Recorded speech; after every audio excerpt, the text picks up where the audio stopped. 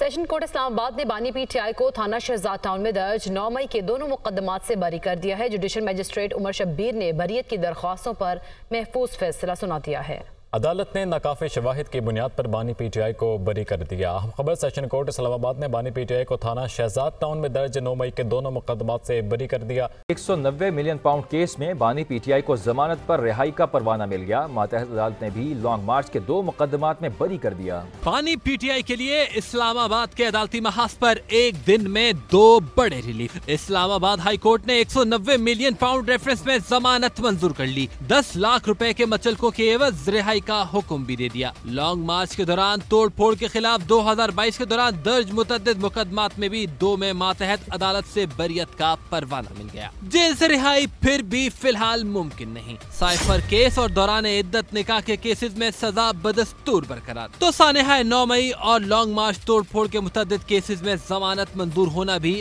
अभी बाकी है